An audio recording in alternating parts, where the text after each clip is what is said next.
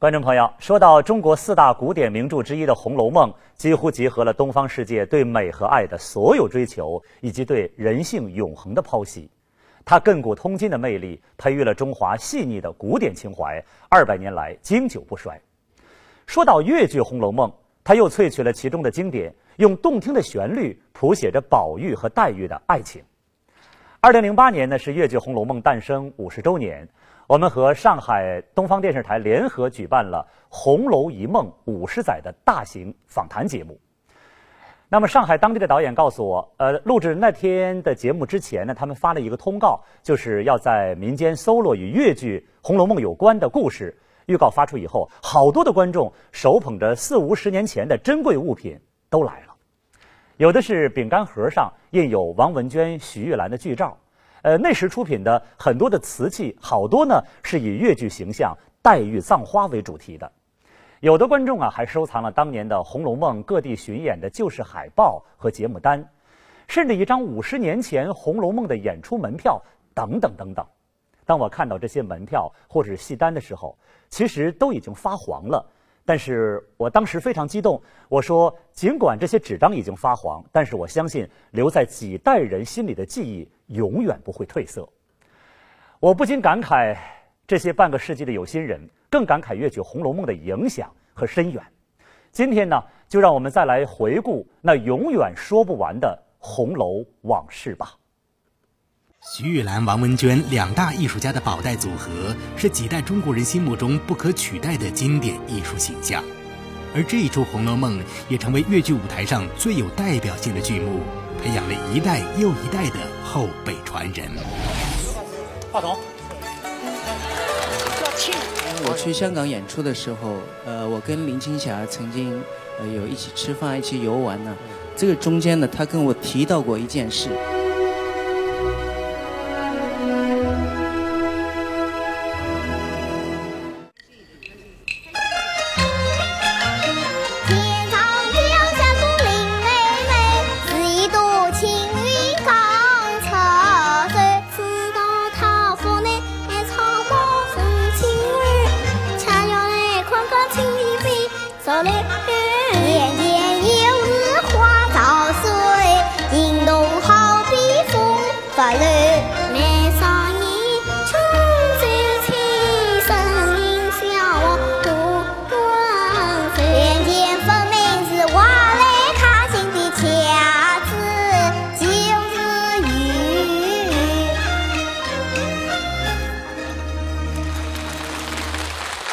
的各位嘉宾朋友，电视机前的各位观众朋友，上海的观众朋友、戏迷朋友们，大家晚上好。看见我们站在这儿，我想大家已经明白了，这是中央电视台戏院百家跟呃 SMG 艺术文频道的文化主题之夜两个栏目的首次牵手，为的就是纪念上海越剧院推出《红楼梦》首演五十周年这个系列的纪念活动。所以今天我们也跟很多来宾朋友们在此一块给大家献上这么一台叫做《红楼梦》情牵五十载的特别节目。说的太好了！其实今天这样一个特别节目呢，也拉开了上海越剧院庆祝越剧《红楼梦》首演系列活动的一个序幕。说到《红楼梦》，真是不得了。我觉得它不光属于越剧，也不光属于上海，它是属于中国，属于世界的。五十年前，也就是在一九五八年的二三月份，在上海的共舞台首演到现在，整整五十年了。我们说越剧《红楼梦》也红火了五十年，培养了很多的越剧演员。从新秀到名流，感动了太多太多的人。所以今天我们也真的是非常有幸，因为我们不仅请到了《红楼梦》当时首演的很多演员，而且在《红楼梦》流传着这半个世纪里，又有那么多的中青年演员们加盟到这个阵营当中来。嗯，还有许多热爱《红楼梦》长达五十年的观众朋友。今天让我们欢聚一堂，做好这个特别节目。没错。那么首先呢，我要为大家请出的是观众们心目当中。最经典的宝哥哥和林妹妹，我建议大家，我们伸出热情的双手，用掌声请出八十七岁高龄的著名越剧表演艺术家徐玉兰老师和八十三岁高龄的著名越剧表演艺术家王文娟老师，欢迎两位！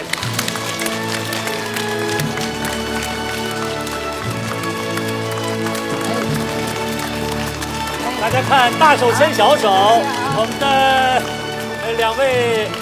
小黛玉、小宝玉牵着我们的两位艺术家上场了。两位艺术家好，徐老师您好，您好，来王你好，你好，徐老师。越剧表演艺术家徐玉兰刚进科班时，先学花旦，后习老生。一九四一年改演小生。一九五八年，三十七岁的徐玉兰以其精湛的表演、激情跌宕的演唱，成功出演《红楼梦》，从此成为观众心目中最经典、最难忘的宝哥哥。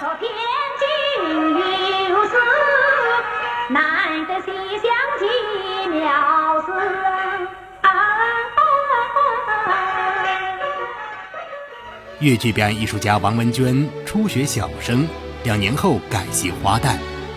一九四八年，她进入玉兰剧团，与徐玉兰成为搭档。一九五八年，王文娟主动请缨参演《红楼梦》，一举成功。徐玉兰、王文娟两大艺术家的宝黛组合，是几代中国人心目中不可取代的经典艺术形象。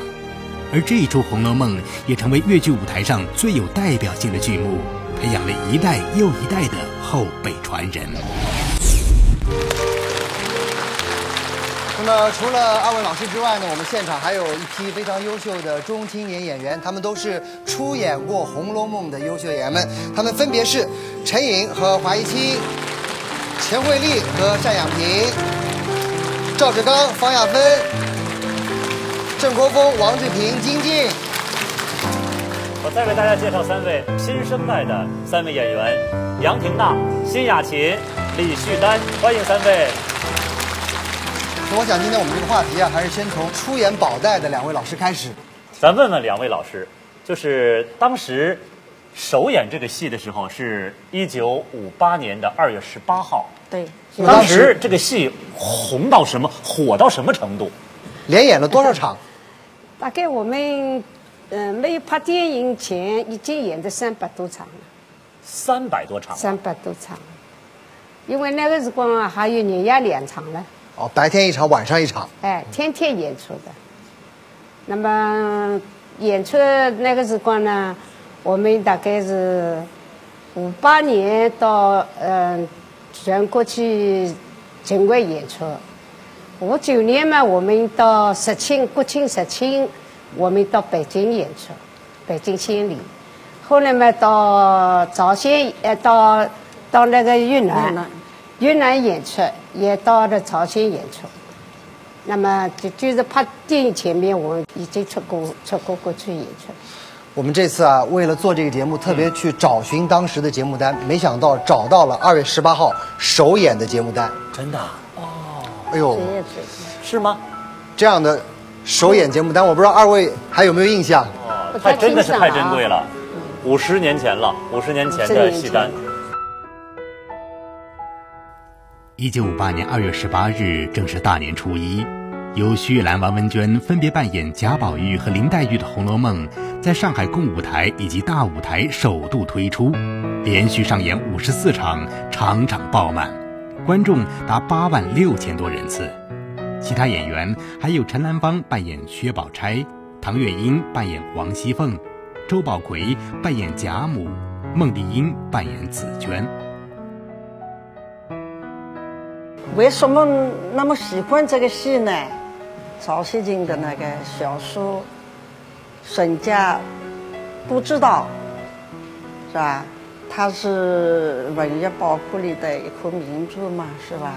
所以一到一个地方，你要是演《红楼梦》，大家都要来看一下。我们记得在那个呃武汉，到武汉去演出，那个时候观众啊，确实是买票买不到的。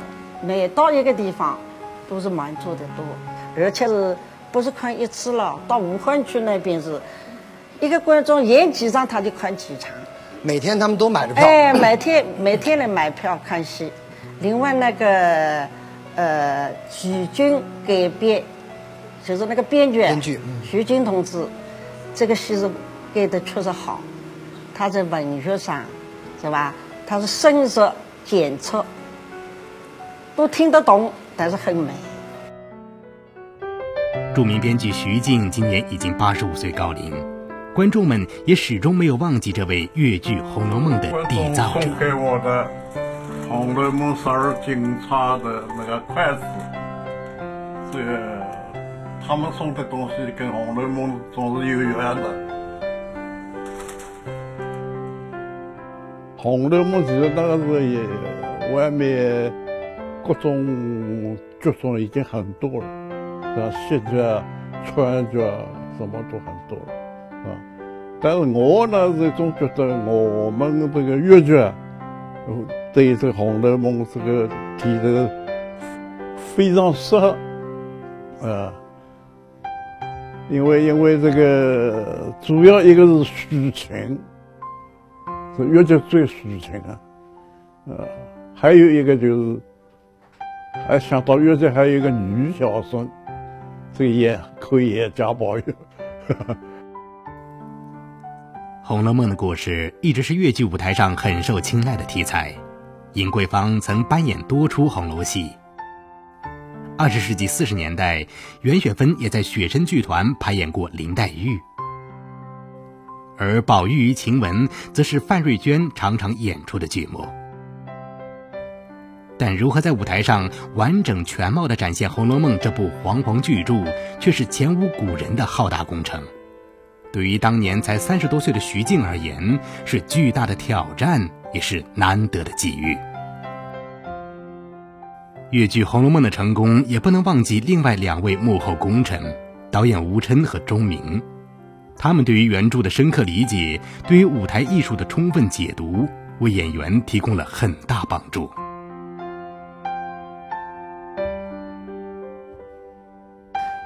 当时那个导演钟鸣，钟鸣后来是吴琛同志，他们两个人呢，少年也是蛮深的，对《红楼梦》也是很有研究的。所以开始排的时候，就是给我们讲解那个宁国府啊、永国府啊那个生活关系啊，叫我们看小说啊。那个，那么我们每次到一个地方演出，演出以后，我们一场戏下来以后，马上就是讲评，不是戏下来以后马上下妆我们就休息了，不是这样，要讲评。今天为什么？要长了五十五分钟，到底在演员的节奏上面，还是在玩景的地方出了毛病，或者你晚了，还是灯光问题，还是乐队问题，都要检查的。所以每次讲评，每次这个戏啊，大家提意见，哪一点不好，哪一点好，那么这样子不断在提高改进。所以每一次演出呢，呃，觉得观众。觉得这个戏质量还是不错，因为为什么呢？这个戏一上去以后，这个戏很长了，大概有毛四个小时吧，三个多小时啊，三个半，三个多小时。后来一点一点删掉，哪里不好再改进什么，是那个戏啊在质量上面能够保证以后呢，所以每到一个地方演出呢，他观众就是不断的来。其实创作这一部经典，真的是凝聚了很多人的心血。对，我听说两位艺术家为了演好人物，还有不少名言，你听说过吗？听说过，说个人都有一些特别呃有劲儿的豪言壮语。咱们先说谁？咱们先说王老师。王老师，哎。王勇跟王老师是几十年的老邻居了，他对王老师的哎呃这个这个这个这个情况肯定很熟悉。这个说实话，我还是听王老师的女儿啊这个转述的。我估计呢，他可能也是听外婆当时转述的。说王老师当时说过一句话，说演不好林黛玉就杀我的头。这句话说过没有？有的说过。是什么是什么时候说的？啊，那还没有定那个谁来演那个《红楼梦》。因为我们越剧院演林黛玉的人也很多，演贾宝玉的人才也是很多。那个时候就是我们那个领导叫宜宾，还有呢徐晶，就是编剧。呃，我在演追鱼的时候，他们到后台来，我正好在下妆了。他说：“哎，王文娟，你演林黛玉行不行啊？”我说：“行啊。”那你演不演得好啊？我是演不好看我的头，我是历来这个军令状以后就得到演林黛玉的，是这样。之前有豪言壮语，哎呀，徐老师据说是之后，当呃贾宝玉的形象已经深入人心之后，后来徐老师说了这么一句话，他说我大大小小演过一百多个角色，但是我最喜欢的还是贾宝玉。对，因为贾宝玉嘛，这个人物比较难演，花的功夫也比较深。那么要创造那么多人物当中呢，确实是贾宝玉这个对我们来演贾宝玉这个难题，是吧？特别是那个进，因为进府的时候，那个林黛玉只有十三岁，贾宝玉只有十四岁。那么我接到剧本以后呢，我觉得前面的不大不小的个男孩很难演了、也不是一般的小孩跳跳蹦蹦的出来，他是荣国府那么一个天之骄子，这个这个佼佼者是吧？又有封建的礼教套在他身上，他他心里是个童声，这个这个，因为我那个时光也已经三十几岁了，我想怎么来演好这个角色，所以呃动动了脑子了，是吧？特别是家宝你出场的时候，他们导演说你出场呀，我说我怎么出场呀？我跳跳蹦蹦出来呢，我是打了四方一个出来了。那我说这个出场很难，我手里拿的什么东西？那么我那个时候我没看过原著了，因为领导文化局领导看见规定我们两个人看十遍《红楼梦》，你说哪里看得到十遍《红楼梦》那么厚的三本？那么后来我是有个机会了，我是看通到了三遍，刚刚同同他们一谈到到苏联德国去了，在火车上看的。但我想到，哎，赵大师里面哪一回，它里面有一章，就家宝玉，王熙凤领家宝玉到家庙去还愿，回来的时候，老和尚告诉他，他说宝玉啊，你把我这颗檀香串送给你老祖宗。那么当时我哎一开窍拿这个东西吧，是吧？我拿个香椿上来嘛，那么我叫那个那个那个呃搞导游的这个管你开个开个东西，那这样呢，我手里拿的东西这样跟着音乐节奏的出来。对，哎呀，那么后来导演我这行不行？他说哎还可以啊，妈妈，根本就是这样出来。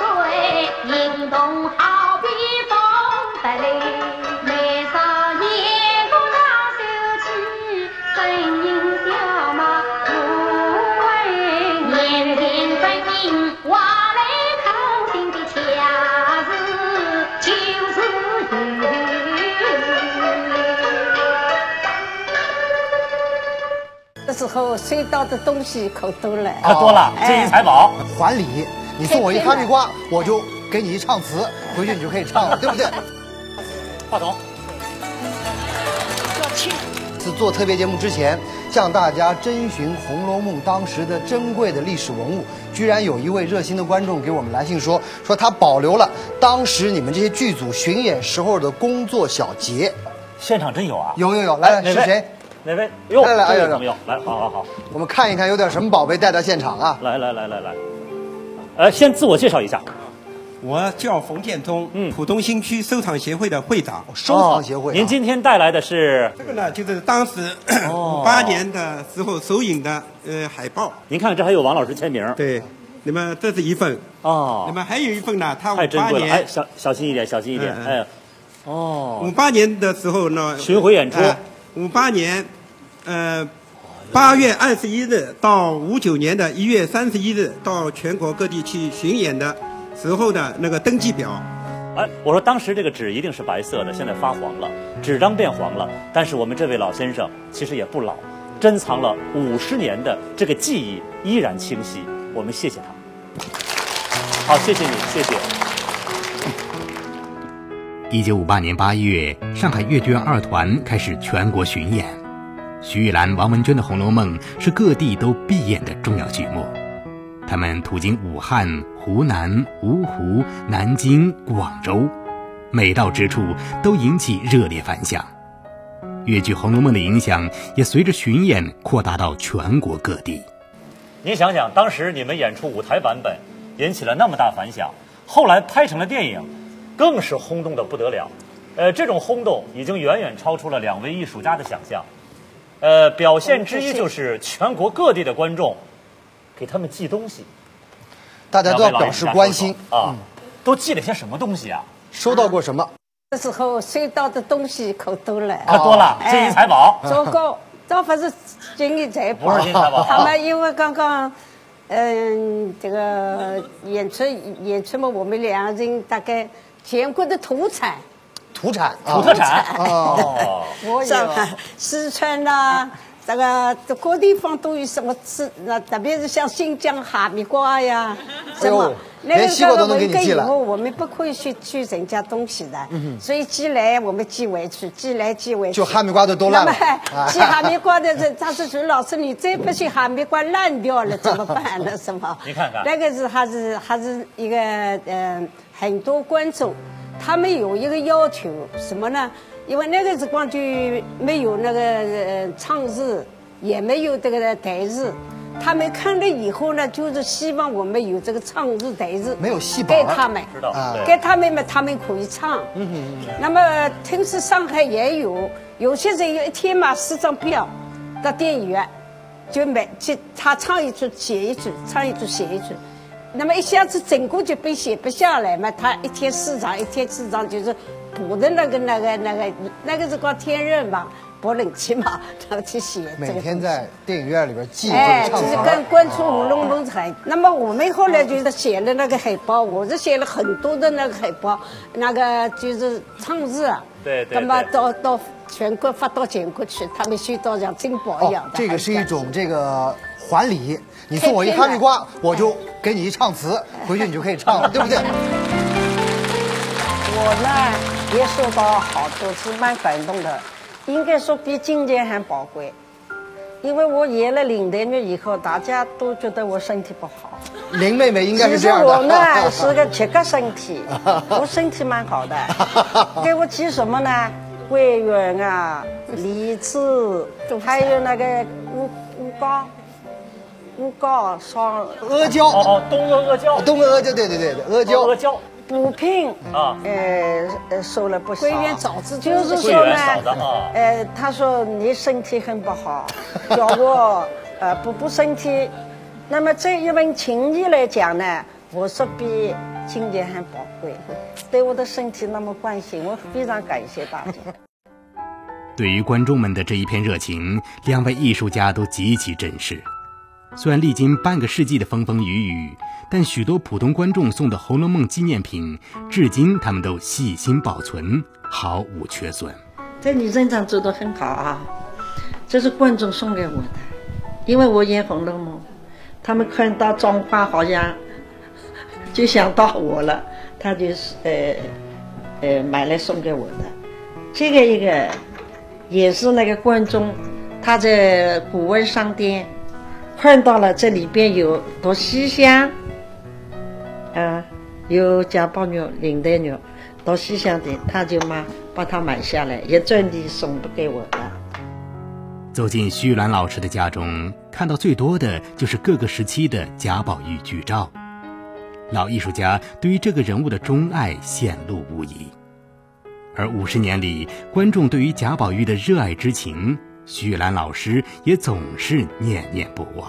这个呢，就是，嗯，这个大概是七十年代的时候嘛，《红楼红楼梦》嗯电影上演的时候，也是北京一个大学生，他自己画的，画了以后来送给我，这个我我要给他好好的保存在这里。二十世纪五六十年代，越剧《红楼梦》还被带到了越南、朝鲜等地进行文化交流演出。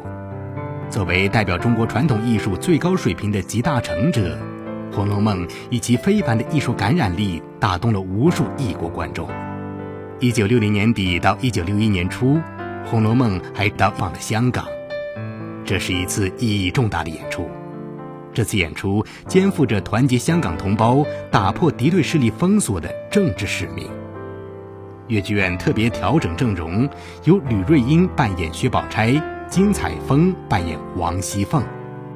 也正是这次赴港演出的轰动效应，促成了上海与香港两地合作，拍摄了不朽的越剧电影《红楼梦》。这也确立了几大艺术家共同演绎的黄金阵容。其实这部经典的作品不光是，呃，宝黛两位艺术家，对，这部影片囊括了当时真的都是一线的表演艺术家。那接下来我们请出他们好不好？好，接下去让我们掌声有请我们在这个首演的时候或者在拍电影的时候就加盟了这个《红楼梦》剧组的几位老艺术家们，有请他们。我们欢迎老祖宗周宝奎老师、凤辣子金彩峰老师、宝钗吕瑞英老师、紫娟孟丽英老师，欢迎几位老艺术家上场。哎呀，真是非常的难得，五十年前。电影版本的六位大艺术家，今天再一次相会在了一起，真的是非常难得。大家看看，我们中间就坐的白发苍苍的老人家周宝奎老师，八十八岁高龄了。其实现在我觉得演老祖宗合适了，不用化妆了。越剧表演艺术家周宝奎，一九三零年在浙江嵊县入科学戏，攻老旦，在越剧界有“老旦王”之称。一九五八年参与《红楼梦》首演时，周宝奎三十八岁，他以自己丰富的表演经验，将老祖宗这位一家之主刻画得入木三分。当初加盟这个剧组的，像这个周宝奎老师跟这个孟丽英老师，两位老师也是五八年二月十八号的首演阵容。哎哎，嗯，周老师跟我们说一说，当初您这个老祖宗，咱原来越剧没有这样的形象，您是怎么借鉴、怎么创造出来的？我接到这个剧本啊，觉得很困难，很困难，因为我没有演过这样一种有气质的人物，那我。这个成分我怎么办呢？我加想加减，造型要加减。那么兄弟集团啊，那个姐妹集团都去看，没有这样一个成分。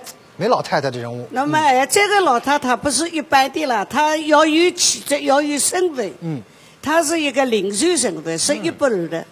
那么又是有谈笑风生，又是有时讲一面，又是有眼力一面。那么我在生活中呢？或者我们五百年呢演出了，呃，演出人物很多，招待外宾啊，招待首长啊，都很多。那么也有时讲的一面是最重的。那么在豪爽的、有气质的、一种魁梧的，那么我觉着在外长有好多地方我好借鉴。所以呢，我是借鉴呢，呃，首长的一种形象啊、动态啊，那么来塑造这个人物。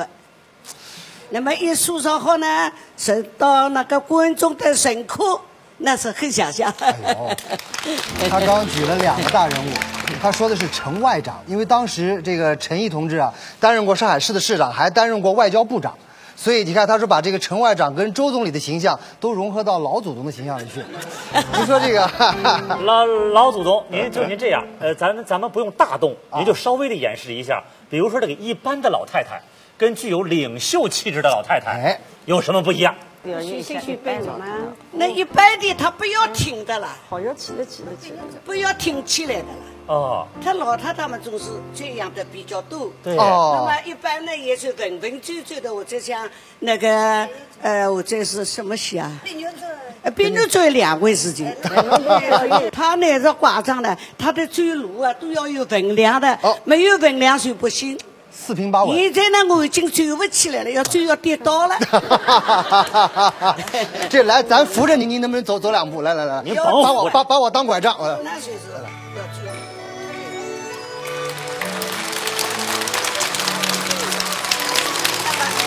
那个冰这里呢？话筒。要轻。哎呦，谢谢谢谢谢谢，哎呀，天哪，这哪像八十八岁的老太太啊！应该当时讲啊，这个周老师因为当时已经是颇有舞台经验了，所以我觉得他自己去琢磨要塑造出这个形象，应该讲还是特别有基础。但是像当时可能孟丽英老师，这属于也是刚进团不久是吧？当这个名单公布以后呢，我看了这个剧本以后呢，我是觉着，哦哟，这个任务对我来讲不轻。越剧表演艺术家孟丽英，一九五一年在杭州从艺，供小旦；一九五四年加入上海越剧院；一九五八年，他参与《红楼梦》首演时只有二十四岁。哎呀，你可叫错了，是宝姑娘来了呢。因为我不能跟得老师们比，他们是这样，我是那样，相差很远，真的是搿能。所以讲，当时辰光接到这个任务啊，看了剧本以后，我觉得这个啊非常高兴，但是也有一定的压力。高兴的是啥呢？我能够得两位老师，以这个搭档的戏啊，葛么能够学习到不少的物事。但是我也蛮担心的呀。如果因为我对伊拉个艺术相差很远嘛，如果配搭不好嘛，搿是完结了。那么迭个辰光呢，王老师对我有一句闲话，哎哟，搿是俺从生活当中是要培养姐妹感情的嘛，把我是铭记在心。我心里想，哎呀，王老师搿能样子一讲嘛，伊一点没架子的呀，搿我会吓点啥呢？我会抖点啥呢？伊拨我已经搿能个力量了，所以我勿吓了，我就是有感情，想去踢肉的去搭伊。所以这个里向个区别是相当重的，真的。说到这个吕瑞英老师跟这个金彩峰老师呢，是后来加入《红楼梦》剧组的。两位艺术家对自己扮演的角色都好大的不情愿。先说说吕老师，哎，吕老师大家都知道，哎，原来善演的都是俏丽的小花旦，比如说大家熟悉的像红娘，像打金枝里的公主，人家演的都是这样的角色，结果让人家演薛宝钗，如此有心计的一个女人。当时心里是不是觉得领导安排演这个角色特委屈？越剧表演艺术家吕瑞英戏路宽广，专长花旦、兼善花衫、青衣、刀马旦。一九六零年赴港演出时，加盟《红楼梦》剧组，时年二十七岁。虽然薛宝钗的角色和吕瑞英擅长的人物并不吻合，但她以自己的深厚功力演活了观众心目中的宝姐姐。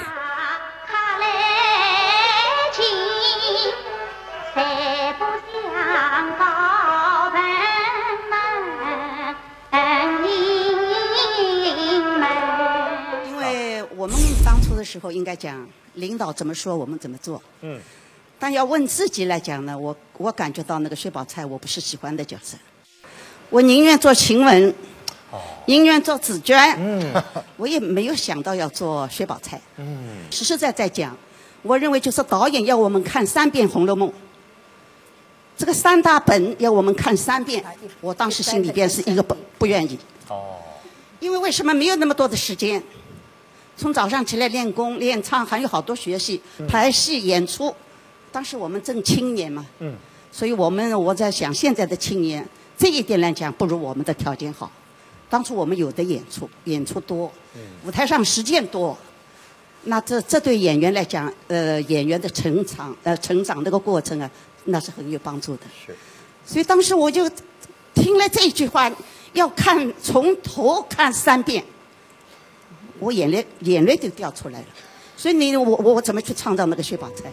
不是啊，那那后来呢？我就想，这个也是怎么讲啊？他是领导之命难难为啊，从头至尾咬了牙齿看了一遍，三遍是不行了。呃，吴吴吴春呢？呃，当当时我们都叫吴主任，他是艺艺术演呃那个那个艺艺术室的主任，他做导演。他排戏的时候，第一句话问我：“你《红楼梦》看了几遍？”我想了一想，还是实话实说吧。嗯哼，待会他要问我点什么东西，我讲不出来，我就说看了一遍。他说不错，哎呦，我到那个那个那个心，我就就放下一个心来了。那么，所以我说，在假如说这个人物创造来讲，应该说，我现在来看，我自己对我过去那个创造薛薛宝钗那个时间来看，我认为我还是自然条件，还是自然形态在演。你说怎么样去刻画它？看了书是一个影印象，但是你要在舞台上表现它，表要表现出来，那个薛宝钗的大家闺秀，内中外秀。对吧？那么又是一个有心计的，但是又是不失分寸的，啊，又是会在什么人面前讲什么话，这些东西来讲，嗯，对我的性格好像是，我是好像一下子还想不到怎么样，哎，怎么样去去去演她？咱们演小丫头来讲，那个是实话实说，对不对？演那个宝钗来讲，应该讲还是应该说不是太称职。其实我想啊，对于吕老师而言，呃，可能跟金老师而言也是同样的这样的一个状态，就是说当时他们二位啊，已经是颇有自己的风格了，而且颇有社会知名度了，大家对他们所扮演的那一路的角色已经很认同了。现在换了一个他们自己都觉得不是特别自信、不是特别满意的角色，又要得演好他，这个难度是不是特别大？金老师。人家金老师，人家原来演的都是你像《碧玉簪》里的李秀英，人都是贤妻良母型的。是，你说这一次给人让人演王熙凤，哎，听说您还哭鼻子，对，真哭了，真的。越剧表演艺术家金彩峰，一九四六年在雪声剧团攻小生，后转东山越艺社改演旦角儿。一九六零年赴港演出时，加盟《红楼梦》剧组，时年三十岁。将凤辣子的泼辣与心计演绎得淋漓尽致。因为我呢，跟在座的呃徐老师了，呃那个叫周老师了、王老师了不同，伊拉侪科班出身，但李老师也勿好比，李老师也是科班出身，我呢是不是科班出身，所以伊个戏呢，角色咾啥呢演了勿多。突然之间要我去演这个王熙凤啦，我是老紧张，因为这个王熙凤角色老难演的，伊是里向有句闲话是里面尖来外面光，八面玲珑。跟我这个人呢，辣辣生活当中呢，不是搿能样子。伊台浪向要我演搿能样子个人呢，侬想我哪能好演呢？所以心里向是。不是不愿意，实在是自家不能称职，演不好，生怕演不好，自己反差太大，嗯，反差实在太大了，所以我哭了。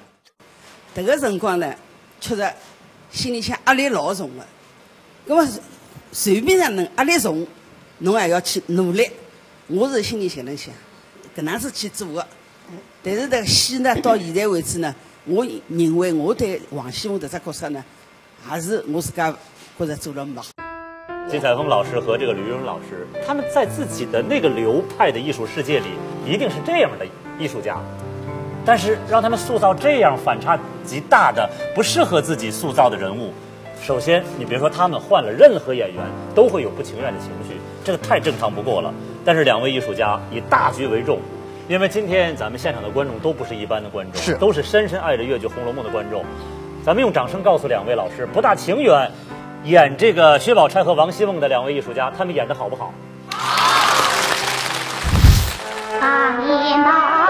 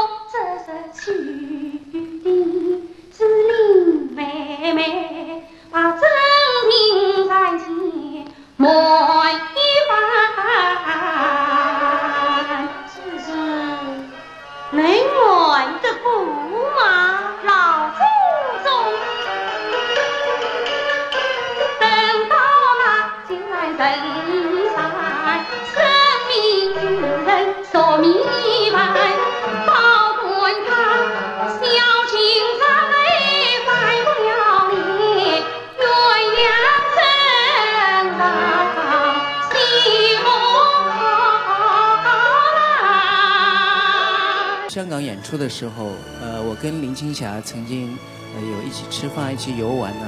这个中间呢，她跟我提到过一件事。这哪是黄梅调？这整个就是抄袭咱的越剧。问紫娟。其实说到电影《红楼梦》，不能不提到一位大导演，在今年的一月份刚刚去世的陈范导演。陈范。陈范导演，真的他，他为中国的电影事业做出了不可磨灭的功绩。如果对于陈范导演一些年轻的观众不太熟悉的话，我们来说说他拍的影片。京剧的《群英会借东风》是他的，呃，那么他后来跟郑君里先生合作了这个《林则徐》，还有大家熟悉的1982年拍摄的《阿 Q 正传》，所以是这样的一位导演，他导演了《红楼梦》，当时他应该还很年轻吧？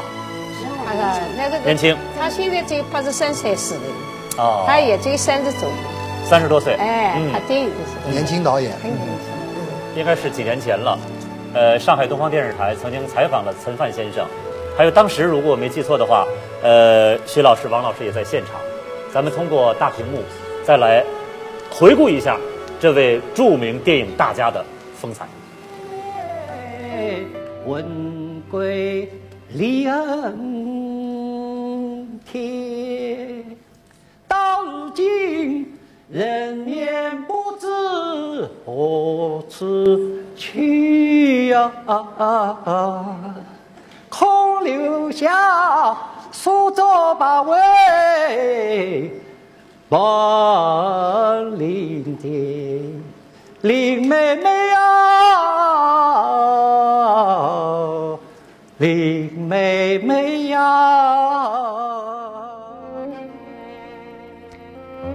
二零零八年一月，曾范先生因病逝世，但他却以一生的心血为我们在大荧幕上留下了最美好的作品。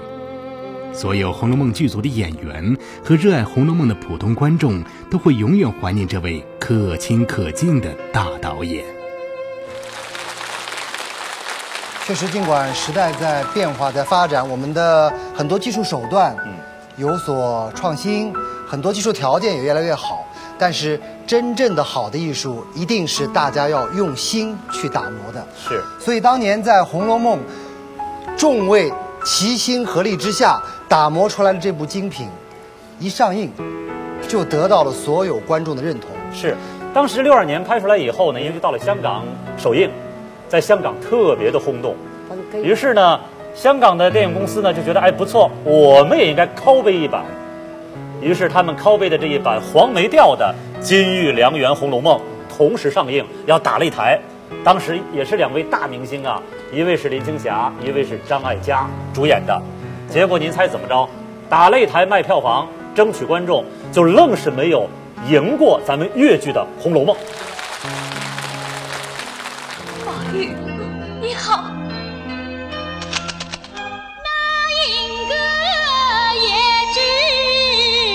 星河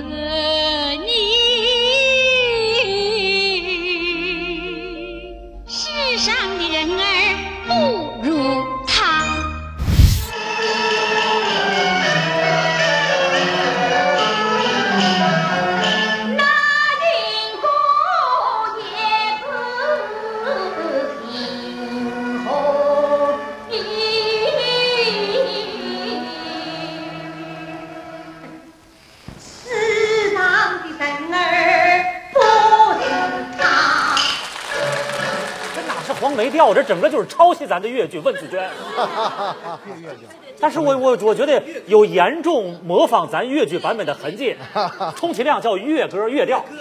啊，不管他抄不抄，人家抄证明咱们的成功，当然是不是？不管怎么说，咱们还应该感谢人家香港公司拍的这一部这个叫《金玉良缘·红楼梦》。对对，其实某种意义上，也更印证了咱越剧《红楼梦》的高潮。他那个李青阳那个这个作家宝牛嘛，他柯林。最后，他因为他黄梅调了，四季调了，什么调什么调，到了柯林他没调了，整个就是越剧。听到了吗？徐老师说了，如果问紫娟还有点越调的话，到了哭灵他没调了，就是咱的越剧调。越调就是越剧。哎，志刚，志刚有话要说。呃，八六年我去香港演出的时候，呃，我跟林青霞曾经呃有一起吃饭、一起游玩呢。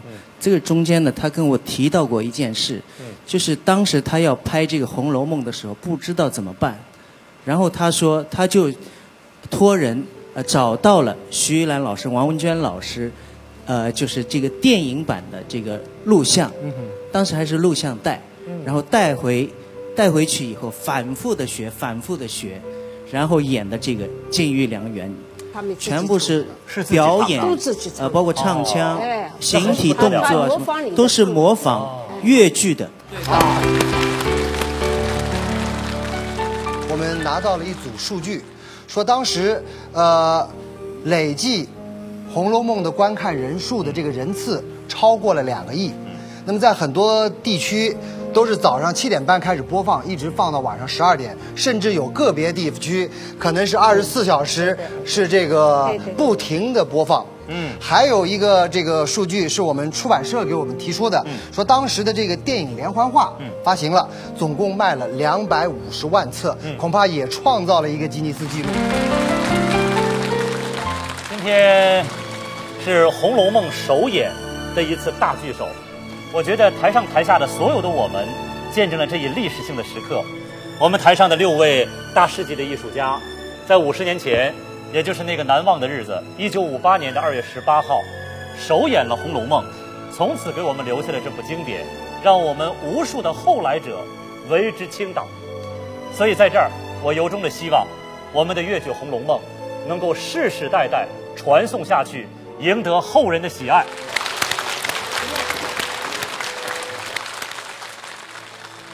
二十多年前，演贾宝玉的钱惠丽在诸暨，演林黛玉的单仰萍在桐庐。